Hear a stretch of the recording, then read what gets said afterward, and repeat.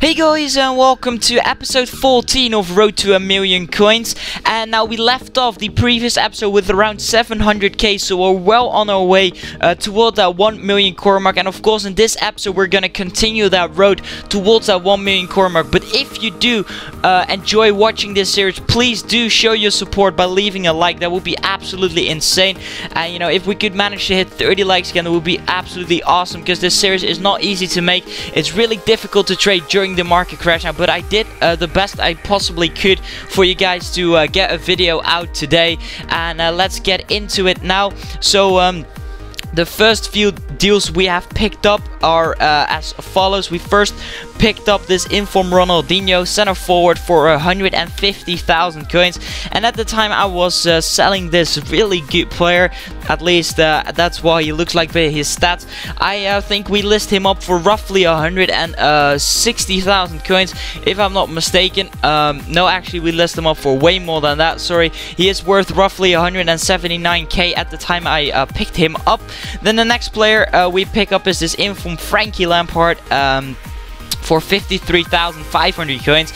And, uh, you know, uh, we have traded with him before in this series, but his price has, has dropped significantly since we traded with him before, obviously. And we're now going to try and sell him off for 59,000. So that will be roughly a 4 to 5k profit, which is pretty nice indeed. And then the final player that we picked up for this first set of trading is this Info uh, Freddy Guarin in a CDM 352 for 51,000 coins. Try and sell him off for 60,000. So just like Lampard, around a 4 to 5k profit, maybe a little bit more. Then uh, we sold on the players. Ronaldinho sold on for 172k, so a little bit less than we listed them up for initially, but still a good profit. And the Guarin and the Frankie Lampard sold uh, almost instantly, so for the prices we list them up uh, the first time. Then we picked up an Inform Falcao, his 90 rated version for 339,000 coins. And, uh, you know, um, there was a really good deal uh, when I picked him up. I mean, it was well uh, under his market price, because we do indeed list him up for 369,000 coins so that's roughly a 30k profit, excluding tax, and if you include tax, that's uh, about 10 to 15k. But then uh, yeah, the market kind of crashed. I couldn't sell them on the first time, so I had to list them up again, and they only sold for 359,000 coins, which means that we only made like a 2k profit on them, which is a bit, hmm, meh. Uh, well, but you know, we got our ups and downs in trading, so we'll just carry on with the final set of trading.